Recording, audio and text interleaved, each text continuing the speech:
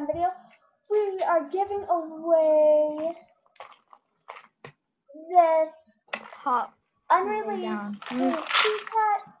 So if you want to be in this giveaway, put in your Amazon new name in the chat, your status, and why you want it. Good luck you, everyone.